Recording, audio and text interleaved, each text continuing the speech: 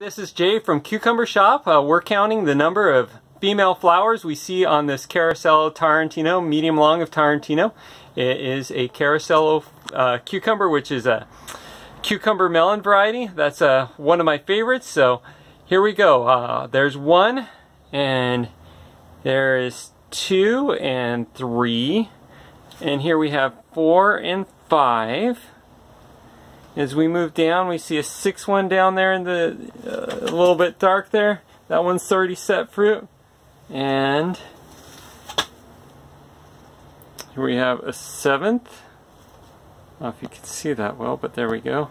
Seventh and an eighth. There we go.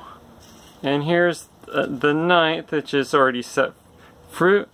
And then back there we have 10th and 11th and we have 12 is that one right there? Yeah 12 that's a little tiny one. 13 little tiny one getting ready to go. 14 little tiny one getting ready to go. 15 then back there 16 and over here 17 so obviously all these won't set fruit right away uh, but if the plant is healthy and well um, it will try to set fruit more than not and uh, I hope that when you get seed from me that it grows well and that you enjoy yourself.